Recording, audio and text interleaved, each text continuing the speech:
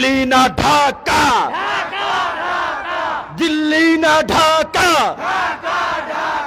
ভারতীয় আগ্রাসন রুখে দাঁড়াও জনগণ ভারত যাদের মামা বাড়ি বাংলা ছাড়ো তাড়াতাড়ি ভারত যাদের মামা বাড়ি এই শ্রোতাচালী চৌধুরী আলম বিএনপি স্থায়ী কমিটির সদস্য সালাউদ্দিন আহমেদের মতো লোককে সাংবাদিক কাজলের মতো লোককে এখান থেকে গুম করে ইন্ডিয়া ফেলে দেওয়া হয়েছিল। সীমান্তের ওপারে নিয়ে গিয়েছিল। আমি বারবার বলছিলাম, প্রকাশ্যে বলছিলাম, এই ঘটনার সাথে ভারতীয় বাহিনী জড়িত। আজকে সোশ্যাল মিডিয়ার বদৌলতে এদেশের মানুষ এগুলো জানছে। মেইন স্ট্রিম মিডিয়া এগুলো প্রচার করবে না। কারণ প্রত্যেকটা মিডিয়া বলেন সরকারি প্রতিষ্ঠান বলেন, ভারতীয় দালাল এবং এই তাবেদারের দোসররা বসে আছে। কাজে ওরা প্রকাশ করবে না, প্রচার করবে না। আমাদের কথা যে কদিন বাঁচবো, হুঙ্কার দিয়ে বাঁচবো, অন্যায়ের বিরুদ্ধে আপোষ করে লড়াই সংগ্রাম করে বাঁচবো।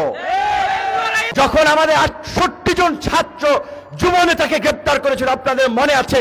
সিলেটের নাজমুস সাকিব সহ এই শাকিলুজ্জামান অনেককে সেদিন গুম করেছিল, নির্যাতন নিপীড়ন করেছিল। কেন? মোদির বিরুদ্ধে আমরা প্রতিবাদ করেছিলাম।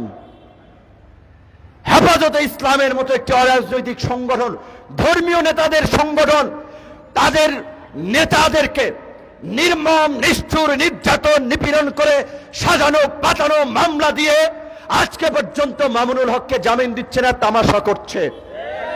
সংসদেও তামাশা হয়েছে। কেন? মোদি বিরোধী আন্দোলন করেছে।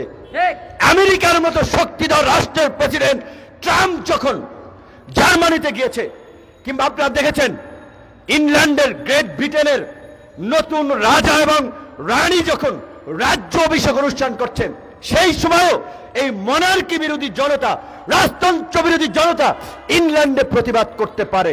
তবে কেন আমরা নিজ দেশে মোদির মতো সাম্প্রদায়িক, নরঘাতক, যাকে মার্কিন যুক্তরাষ্ট্র এক সময় নিষেধাজ্ঞা দিয়েছিল, কালো তালিকাভুক্ত করেছিল, মার্কিন যুক্তরাষ্ট্রে প্রবেশে তার বিরুদ্ধে কেন আমরা প্রতিবাদ করতে পারব না?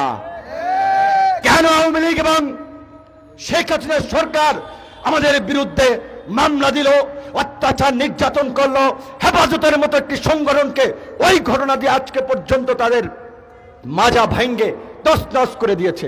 কেন? কারণ তারা দেখেছে, এই আওয়ামী লীগকে দিয়ে যেভাবে তারা ভারতের পারপাস সার্ভ করে যাচ্ছিল, এখানে ভারত বিরোধী একটা সেন্টিমেন্ট রাইজ হচ্ছে এবং এই দেশের তরুণরা আবার সেই স্লোগান তুলেছে